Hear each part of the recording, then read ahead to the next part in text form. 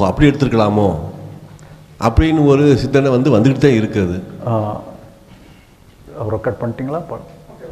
அதாவது தப்பாக எல்லாமே நம்ம இதில் கரெக்டாக இருக்குன்னு எல்லாம் சொல்ல முடியாது. நம்ம முடிவு தப்பாக கூட இருக்கலாம். பட் இருந்தாலும் என்னென்னு சொல்லி சொன்னால் நீங்களாக தேவையில்லாமல் எல்லா தாட்டையும் என்டர்டெயின் பண்ணக்கூடாது. நீங்கள் ஒரு வேலையை செய்ய ஆரம்பிச்சிங்கன்னு சொன்னால் அந்த செயலே வந்து சரியான செயல் இல்லை தப்பான செயலுங்கிறது இந்த வேலையை சொல்லும் அது.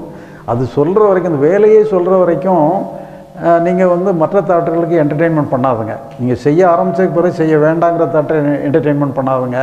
பெண்டிங்கில் வைக்கணுங்கிற தாட்டை என்டர்டெயின்மெண்ட் பண்ணாதுங்க.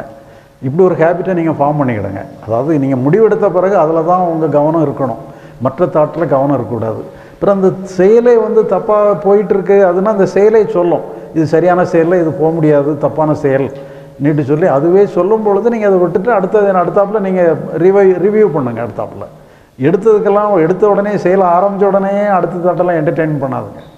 ஒரு கொஞ்ச நேரத்துக்காவது நீங்கள் செயல்லே ஈடுபடுங்க.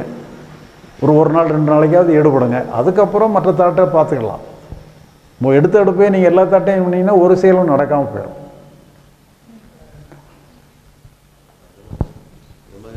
அந்த மாதிரி தான் சார். எடுத்த உடனே ஒரு ரெண்டு நாள் கழித்த உடனே ஆஹா இது தப்பாக போச்சே. அப்படி பண்ணியிருந்தா சரியாக வந்திருக்குமோ? இதனால் பாதிப்பு நமக்கு ரொம்ப வந்துருச்சே. இந்த இந்த மாதிரி கோவப்படாமல் இருந்தால் பாதிப்பு இல்லாமல் இருந்திருக்குமோ?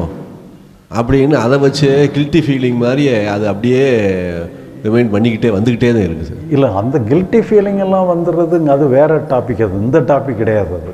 அது நீங்கள் எதுவாக இருந்தாலுமே வந்து நீங்கள் செஞ்சு முடிஞ்சாச்சு முடிஞ்சதெல்லாம் முடிஞ்சதுன்னுட்டு முடிச்சுக்கிடுங்க. அதில் இந்த எதை செய்கிறது என்னங்கிற டாப்பிக்கு கெடுக்கக்கூடாது என்ன செய்யணுங்கிறது சம்மந்தமாக உள்ளதுல தான் இதை செய்யுமா அதை செய்யுமாங்கிறதுல தான் அதை பார்க்கணும். மற்றபடி ஒன்றை வந்து இதில் அப்படி ஆல்டர்னேட்டிவே கிடையாது. அப்படி ஆல் இந்த இது செய்ய வேண்டியது தப்பாக செஞ்சிட்டிங்க முடிஞ்சிட்டு போச்சு. முடிஞ்சதெல்லாம் முடிஞ்சது. அடுத்தது என்னங்கிற கேள்விக்கு வந்துடும் கில்ட்டி ஃபீலிங்கே இருக்கக்கூடாது. கில்ட்டி ஃபீலிங்கே தவறானது. கில்ட்டி ஃபீலிங் வர்றதுடைய நோக்கமே என்னன்னு சொன்னால் அந்த செயலை திருத்துறதுக்கான நோக்கம் தான் திருத்த திருத்தி சரியான முறையில் செய்கிறதுக்காக தான் உங்களை காயப்படுத்துறதுக்காக வர்றதில்ல. கில்ட்டி ஃபீலிங் இப்போ நாம் என்ன பண்ணிடுறோம்னு சொன்னால் கில்ட்டி ஃபீலிங்கை வச்சு செயலை திருத்துறதில்ல. நம்மளை நம்மளே காயப்படுத்திக்கிட்டே இருக்கிறோம். உங்களை காயப்படுத்துறதுக்காக கில்ட்டி ஃபீலிங் வரல. உங்களை காயப்படுத்துறதுக்காக கில்ட்டி ஃபீலிங் வர்றது தான் ஓசிடிக்கான மெயினான ப்ராப்ளமே அதுதான். உங்களை காயப்படுத்த ஆரம்பிச்சிங்கன்னா அது ஓசிடியில் போய் நிற்கும் அது. அதனால் உங்களை காயப்படுத்தவே காயப்படுத்தாதுங்க. கில்ட்டி ஃபீலிங்குடைய நோக்கமே செயலை சரி பண்ணுறதுக்காக வர்றது தான் செயலை சரி பண்ணுங்க.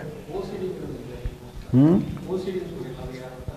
ஓசிடிங்னா அப்சசிவ் கம்பல்சிவ் டிசார்டர்னு சொல்கிறது சிலவங்க வந்து தேவையில்லாமல் ஒன்றை போட்டு குழம்பிக்கிட்டே இருப்பாங்க.